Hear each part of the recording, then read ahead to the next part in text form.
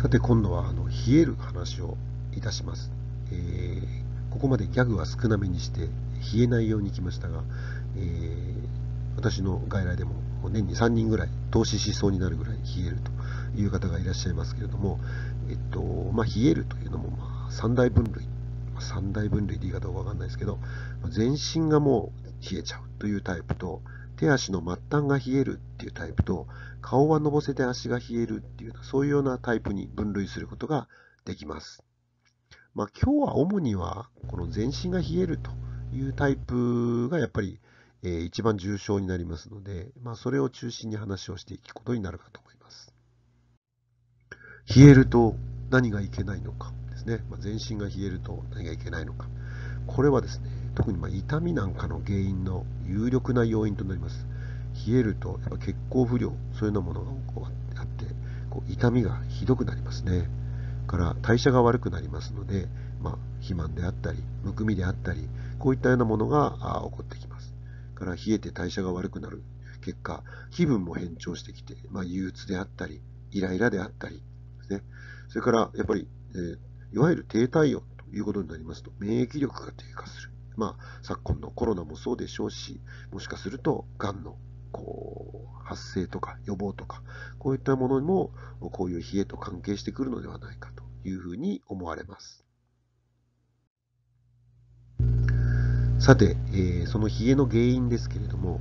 まずはこの陰性食品の摂取と、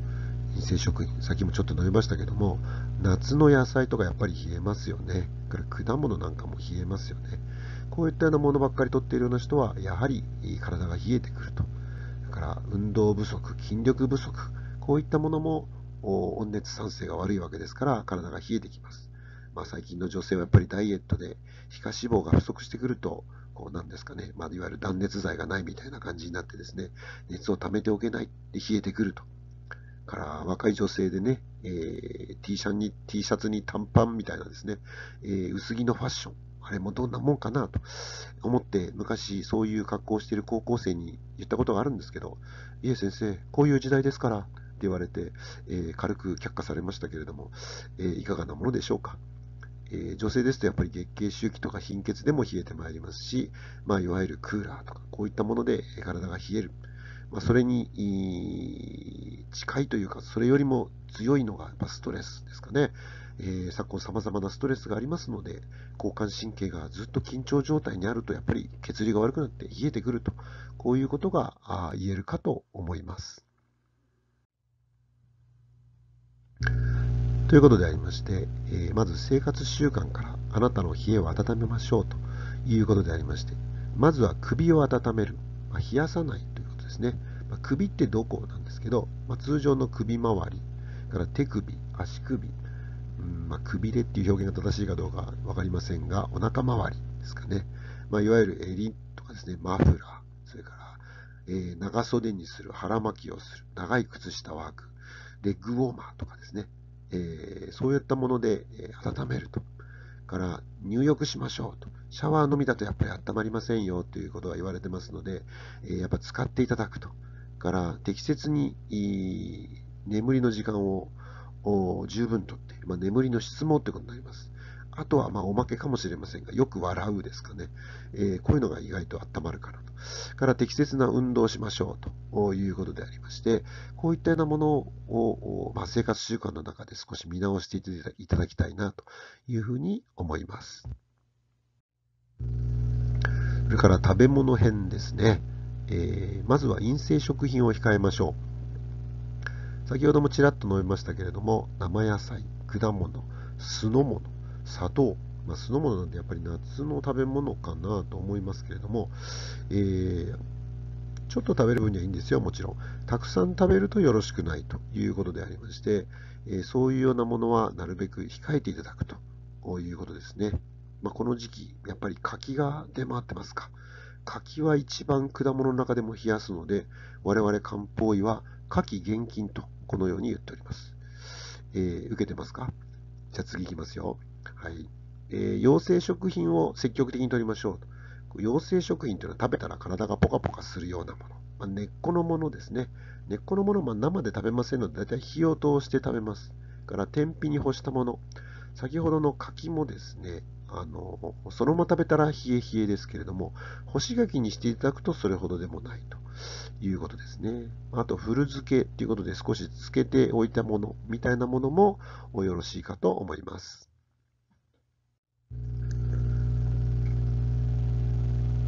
ということで、えー、あなたの冷えを温めましょう。今度はあの漢方薬の話ですね。えっ、ー、と、先ほど来も出てきましたけれども、経費、えー、生姜と書いて消去、芍薬、こういったような生薬というのは、内臓を温めて代謝を高めるような作用があります。えっと、具体的な薬の名前で言うと、軽視か芍薬糖とか、証券中糖とか、こんなのにこれらが入っています。それから、消去、環境。環境っていうのは生姜を蒸して干したものですね。より温めるようなパワーがこう増してくるような薬。から5種、さっき出ましたね。から山椒。えー、こういったようなものは、あ強力にこう内臓を温める作用がありますので、人参糖とか、五臭糖とか、大剣中糖、こういった処方の中にこれらの生薬が入っています。えっ、と、それからですね、えっ、と、地黄、さっき出ましたね。三種油、うん、これは、ここに書いてある八味丸とか五社神器丸に入ってますけど、から三薬、これもそうですね。三薬っていうのは山芋ですけれども、えー、これも内臓の働きを良くする。から経費、武士、武士っていうのは鳥兜になりますね。かなり温める作用が強くなります。代謝を高めて特に下半身の機能を回復させるということで、八味丸とか五社腎気丸、こういったものにこれらの生薬が入っています。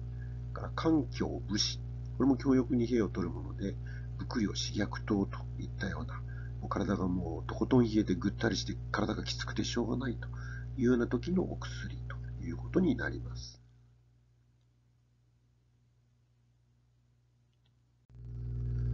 冷えに良い食べ物ということで、これ大体皆さん、あの、想像がつくかなと思うんですが、まあ、大体こうなんか、オンって書いてあってですね、それから、まあ、気を補うとか、えー、あるいは陽を補うというふうに書いてありますけども、まあ、ニラとかですね、かぼちゃ、まあ、生姜はまあ定番ですか。でさっきも出てきました山芋、ニンニクなんかもまあ定番ですかね。それから長ネギ、